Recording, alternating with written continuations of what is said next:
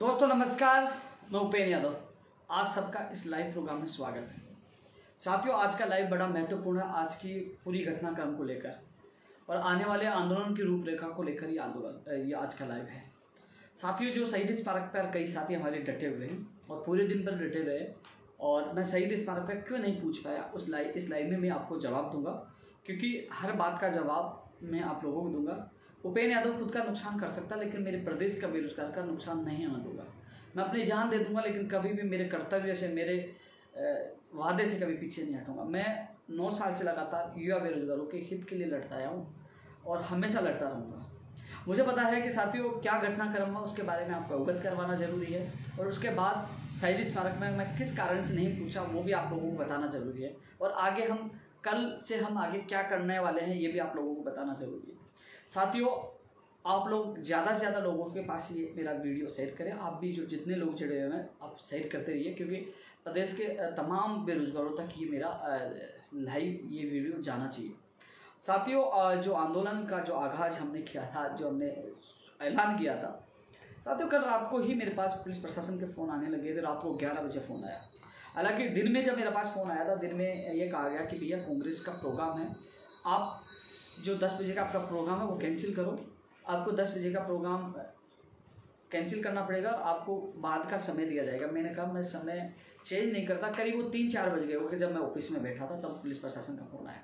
मैंने कहा कि मैं चेंज नहीं कर सकता क्योंकि मेरे काफ़ी दूर दूर के लोग राजस्थान के जो अलग अलग ज़िलों से हैं, वो निकल चुके हैं। ट्रेनों में उन्होंने टिकट बुक करवा लिया है। वो देर रात तक या सुबह तक पहुँच जाएँगे। मैं आंदोलन कैंसिल नहीं कर सकता। एडिशनल एसपी से मेरी डिप्टी ने बात करवाई।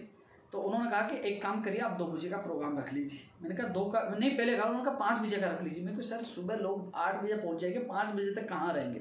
हज़ारों की संख्या में लोग आएँगे, कहाँ भटकेंगे, कहाँ जाएँगे, जिन लोगों को मैंने सुबह बुलाया, ऐसा हो नहीं सकता। उन्होंने कहा, दो बजे का रख लीजिए। उन्होंने फिर मैंने कहा साहब दो भी लेट है। ऐसे जिद करने के बाद हमारे बीच में तय हुआ था कि एक बजे के बाद आप कभी भी आ सकते तो साथियों मैंने लाइव में आपको कहा था, बारह बजे के बाद कभी भी आ जाना। एक बजे का मैंने ट्वीट करके आप लोगों को बता दिया था। पुलिस प्रशासन से हमारी परमिशन को लेकर सहमति हो गई है। रात को ग्यारह बजे पुलिस प्रशासन का फ़ोन आया। बोले कि आपका धरना कैंसिल होगा, आपको नहीं करने देंगे। एक भी व्यक्ति नहीं आएगा, मुकदमा दर्ज कर देंगे, ये कर देंगे। साथियों, रात को करीब चार पाँच बार फ़ोन आया। उसके बाद मेरे असमंज की स्थिति थी, लेकिन ये ज़रूर था कि आंदोलन दबेगा नहीं। मैंने साफ़ कह दिया मेरे प्रदेश के युवा घर से निकल चुके आंदोलन नहीं रुकेगा। आपको जो करना वो करिए। ये आंदोलन न मैं कुचने दूँगा और न रुकने दूँगा। साथियों, जब मैं सुबह उठा, मुझे शक पहले से था। जब मैं सुबह उठा तो मेरे मकान मालिक ने कहा कि पुलिस आई हुई है। सबसे ज़्यादा मैं धन्यवाद देना चाहूँगा। साथियों, आप सबके आप लोगों ने इतना सहयोग किया, लेकिन मेरे मकान मालिक को, मकान मालिक का जो लड़का है, जो एडवोकेट है और आंटी जी अंकल जी, उन्होंने घर में घुसने तक नहीं दिया। साफ़ मना कर दिया। कि अंदर नहीं जाने देंगे, बिना परमिशन आपको नहीं आने देंगे, उसने क्या अपराध किया? उन्होंने कहा, वो किराएदारी तो है, अब किराएदार के पास क्यों नहीं जानते? मकान मालिक का किराएदार नहीं वो मेरा बेटा है। साथियों दो तीन घंटे तक पुलिस को अंदर नहीं जाने दिया, पुलिस को बाहर रोक के रखा, जिस दौरान जब पुलिस बाहर थी तो मैं आपको लाइव वीडियो के माध्यम से अवगत करवाया। मैंने तमाम मीडिया के साथियों को बोला सोशल मीडिया पे डाला और मीडिया के साथी यहाँ पहुँच गए थे। मुझे एक बजे आपके बीच में आना था, मैंने ऐलान कर दिया था। मैंने कहा था कि चाहे मुझे पुलिस रोक के कुछ भी करे, मुझे एक बजे पहुँचना है। मैं किसी भी हालात से, क्योंकि स्थिति यह होगी थी मैं मकान के ऊपर से आता तो छत पे भी पुलिस वाले, छत के ऊपर भी पुलिस वाले थे। चारों तरफ़ चप्पे चप्पे पे पुलिस थी। डिप्टी था एसएचओ था और चारों तरफ़ गाड़ियाँ थी। चारों तरफ़ से मुझे पैक कर रखा था। मुझे पता था कि मुझे खतरा है, मेरे को कुछ भी हो सकता, लेकिन मैंने मैंने कहा कि मेरा प्रदेश का युवा बेरोजगार जयपुर आया तो मैं रुकूँगा नहीं, उनके सपनों के साथ खिलवाड़ है, मुझे निकलना होगा। मैं फिक्स एक बजे घर से जैसे ही निकला, मुझे वहाँ से गिरफ़्तार करके सिपरापत थाने ले जाया गया। वहाँ मुझे रखा गया। काफ़ी देर, हालाँकि पुलिस प्रशासन ने मेरे साथ बदतमीजी नहीं की, ने मुझे, हालाँकि मुझे आराम से रखा, सच सम्मान रखा। मैं झूठे आरोप किसी पे नहीं लगाऊँगा लेकिन बाद में मुझे बताया गया कि जो मेरा मुकदमा पाँच जुलाई का था, उसमें बोले कि आपको आईडी चाहिए, आपको जमानती चाहिए। मैंने कहा, मैं नहीं लूँगा जमानत। लेकिन मैं चाहता तो जवान नहीं लेता, लेकिन मुझे आगे को इस आंदोलन को ज़िंदा रखना है। क्योंकि मैं जवान नहीं लेता, मुझे अंदर जेल में डाल देते। लेकिन मेरे साथी रविंद्र पूछे, उनके आईडी लगाए और मुझे थाने से कोविड नाइन्टीन का जो संक्रमण का जो मुकदमा दर्ज था पाँच जुलाई को, उसमें मुझे जमानत थी उसके बाद मैं छूटा, मैं आया। साथियों मैं घर आने के बाद घर में ऑफ़िस आया, ऑफ़िस में कुछ मीडिया के साथी, उसमें कुछ और भी लोग थे मिला। हालाँकि एक भ्रांति और फैला दी गई थी मेरे घर तक। वहाँ पुलिस प्रशासन मेरे घर भी गया। घर तक ये बात पूछा दी कि इतना डर स्थापित कर दिया कि इनकाउंटर कर देंगे, फंसा देंगे, मरवा देंगे, कई चीज़ें होगी। तो आपको पता है कि मैं लगातार माफियाओं के खिलाफ आवाज़ उठा रहा हूँ, पेपर लीक, ये जो माफिया, एक तरह से माफिया हैं।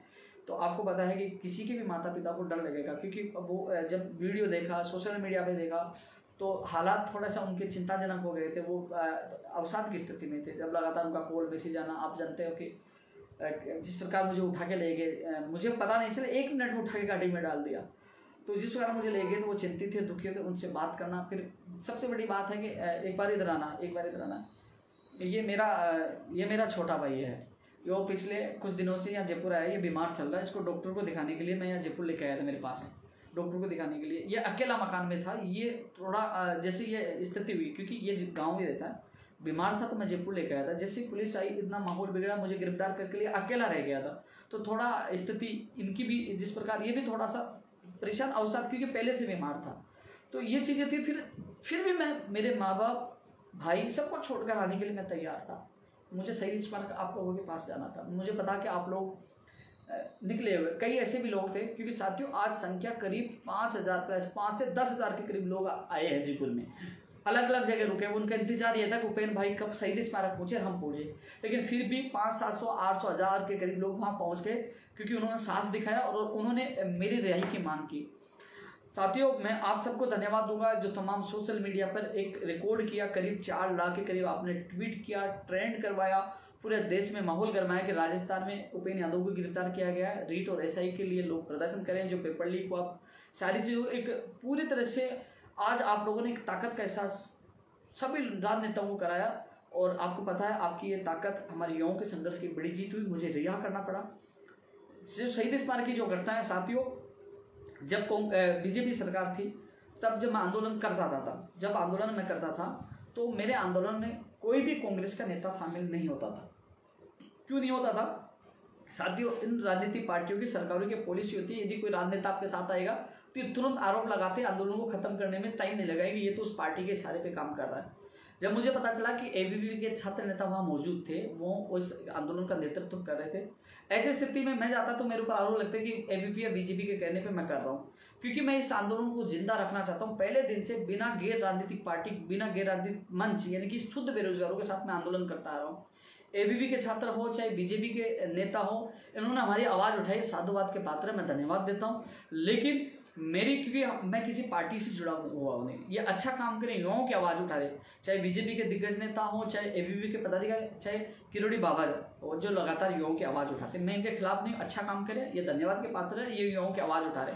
लेकिन कहीं ना कहीं मैं, जैसे अब सुनने में आएँगे किरोड़ी बाबा किरोड़ी जी जो बाबा वहाँ शहीद स्मारक पे। मैं जैसे जाऊँगा, ये कहेंगे उपेन्द्र यादव किरोड़ी बाबा से मिला हुआ है या बीजेपी से मिला हो। मेरे ऊपर आरोप लगना और इस आंदोलन खत्म होना, क्योंकि मैं कल एक बार हमारे जो संगठन के पदाधिकारियों की मीटिंग करके कल मैं बड़े आंदोलन के ऐलान कर रहा हूँ। पुलिस प्रशासन ने कहला कि आपने अनुमति नहीं ली। जबकि मैंने अनुमति ली थी, मैं कोर्ट के बाद कैसे भी मैं वापस एप्लीकेशन लगाऊँगा, वापस इस आंदोलन को वापस जितना करेंगे, लड़ेंगे, अंतिम दम तक लड़ेंगे।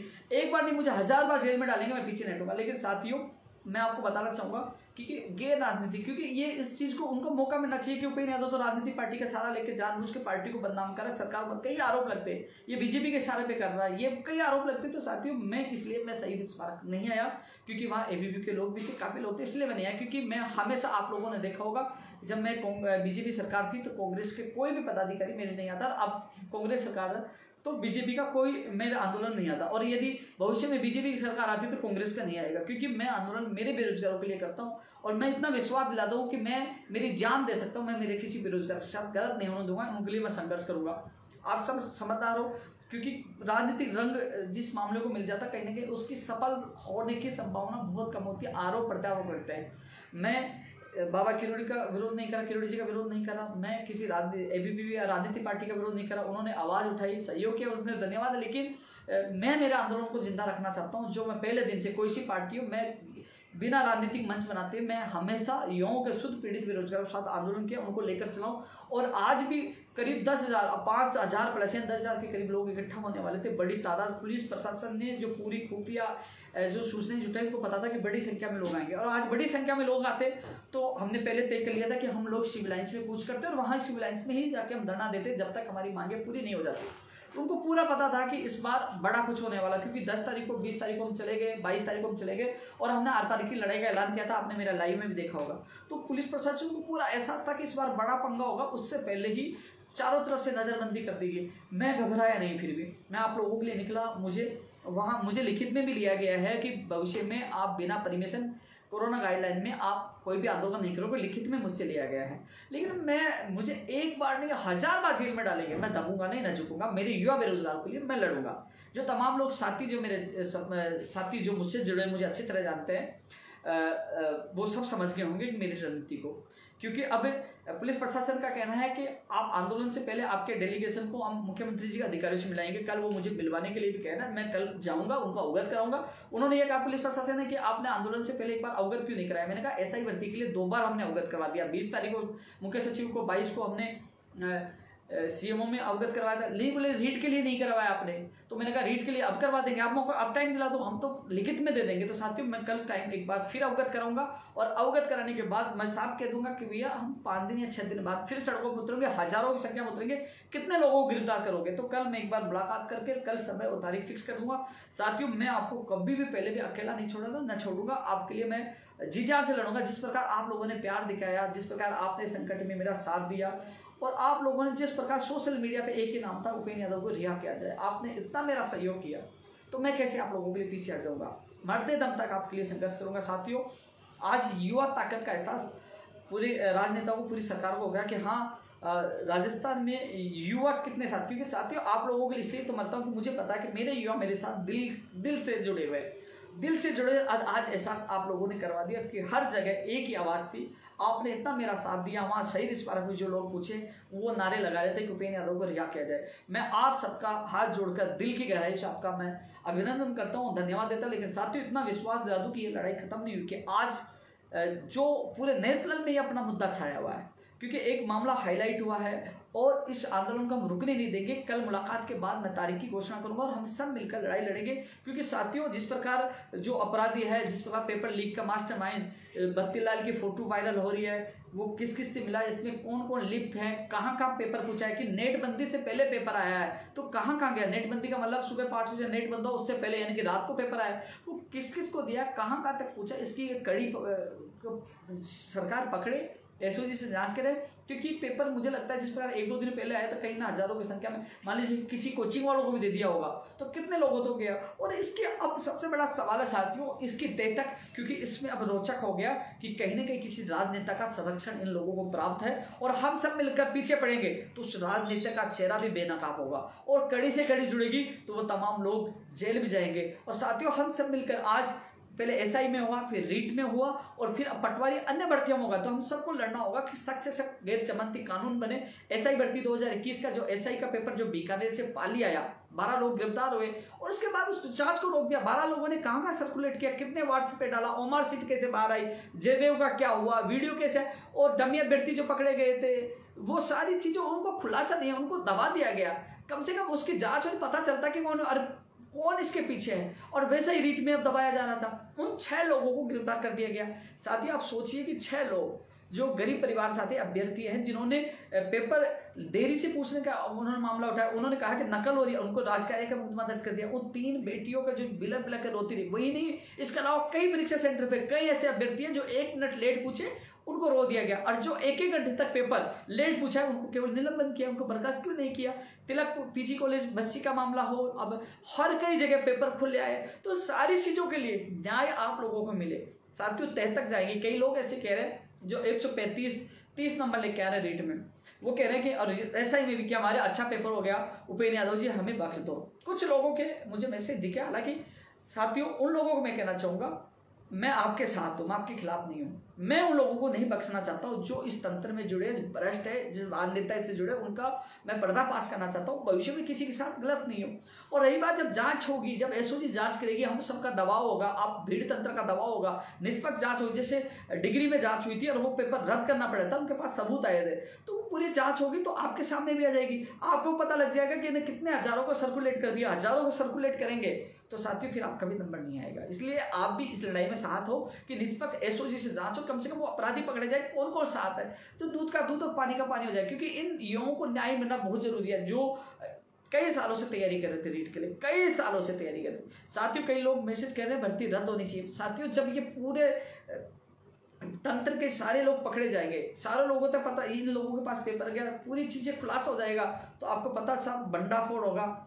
राजनेता का नाम आएगा सब ही दोनों भर्तियाँ रद्द हो जाएँगी। जब ये चीज़ पकड़ी जाएँगी और सारी चीज़ें खुल के आ जाएगी, ये पेपर कहाँ कहाँ तक पहुँचा है? सारी चीज़ें कनेक्शन जुड़ जाएगा तो कहने की ज़रूरत नहीं उनको सरकार को पेपर रद्द करना पड़ेगा, क्योंकि सारा खुलासा हो लेकिन खुलासा करवाने के लिए, इनको पकड़वाने के लिए हमें भीड़, तंत्र यानी कि हमें आवाज़ बुलंद करनी पड़ेगी।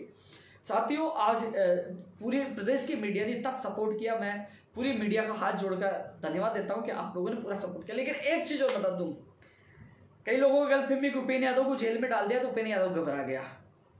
डरता किसी के बाप से नहीं, सीना ठोक के कहता हूँ लड़ूँगा हार नहीं मानूँगा। मेरा छोटा भाई बीमार था या मौजूद था। घर वाले परेशान थे। फिर भी इतना हौसला है कि मेरी वजह से मेरे परिवार के माँ बाप मेरे माँ बाप रो सकते हैं। लेकिन मैं लाखों बेरोजगारों के माँ बापों को रोने नहीं दूँगा। उनके विश्वास पे खड़ा उतरूँगा। मुझे उन बेटियों के आँसू मुझे उन छह बेरोजगारों की पीड़ा उनके परिवार के साथ तब मैंने ऐलान किया था कि नहीं, तीस तारीख को बड़ा कुछ होगा। और फिर भी मैं दुखा नहीं, मैं घर से निकला। मद मस्त होकर सीना तान के निकला। हाँ गिरफ़्तार करना तो करिए। गिरफ़्तार किया, लेकिन आप युवाओं की ताकत के आगे मुझे रिहा करना पड़ा। ये सबसे बड़ी आपकी जीत है। और धीरे धीरे हमारे संगठन को, आप लोगों के, हम सब मिलकर एक बड़ी ताकत हमारी बन रही है। तो साथियों, कल एक बार अधिकारी जो मुझे आज विश्वास दिला उनके साथ एक बार मैं अवगत कराऊँगा कि भैया, हम चाहते हैं हमें न्याय मिले। और कल साथ में ही अल्टीमेटम के साथ जो कानूनी प्रक्रिया, जो उनको कहते हैं लिखित में एक नहीं, दस पन्ने दे दूँगा और कल ही तारीख फिक्स करके हम इस लड़ाई को आर पार की लड़ाई लड़ेंगे। क्योंकि जाँच होगी तो कई बीच में बड़े बड़े लोगों का जो संरक्षण दे रहे नेताओं का, उनका पर्दा पास भी होगा। और इस लड़ाई को हम सब मिलकर लड़ेंगे। जो लोग, मैं शहीद स्मारक क्यों नहीं आया और मैं क्यों नहीं जा रहा? ये चीज़ का जवाब आप लोगों को मिल गया होगा। हालाँकि जो आंदोलन कर रहे, अच्छी बात है, आंदोलन कर रहे तो हमारी इन मांगों को, हमारे, मेरे प्रदेश की बेरोजगार की मांगों को बल मिल रहा है हमें मजबूती मिल रही है, हमारे संघर्ष में कोई साथ आ रहा है, उसका स्वागत है बहुत बहुत धन्यवाद, आप सहयोग कर हमारी संघर्ष को बहुत बड़ी मजबूती मिलेगी। लेकिन मेरे साथ जाने के बाद हमारा आंदोलन कमज़ोर कर दिया जाएगा कि उनसे मिला, जब मैं निष्पक्ष रहूँगा, मेरे साथ निष्पक्ष, शुद्ध बेरोजगार रहेंगे तो कहीं ना कहीं मेरा आंदोलन, मेरा मेरा मतलब हम सब का आंदोलन, हम मेरे सारे तमाम बेरोजगार आंदोलन मज़बूत रहेगा और कहीं ना कहीं वो मांग भी पूरी हो पाएगी। क्योंकि कई बार आपने देखा होगा, पहले भी कई आंदोलन हुए तो ये कहते हुए उन आंदोलनों को कुचल दिया गया कि ये तो किसी राजनीतिक पार्टी से प्रेरित है। तो साथियों, मुझे, मेरा दिमाग, मेरा सारी रणनीति ये रहती है कि मुझे ये कहने प्रकार है मेरे युवा बेरोजगार का काम कैसे करवाना। उनका काम करवाने के लिए मुझे कोई सी भी रणनीति, मुझे मेरी जान देने पड़े तो मैं पीछे नहीं हटूँगा। मेरे लिए मेरा युवा सबसे पहले युवाओं के अधिकारों के लिए मैं पीछे कभी पहले भी नहीं हटाता, न अब हटूँगा। मैं खुद का नुकसान कर सकता हूँ, लेकिन मेरे किसी युवा बेरोजगार का नुकसान नहीं होने दूँगा।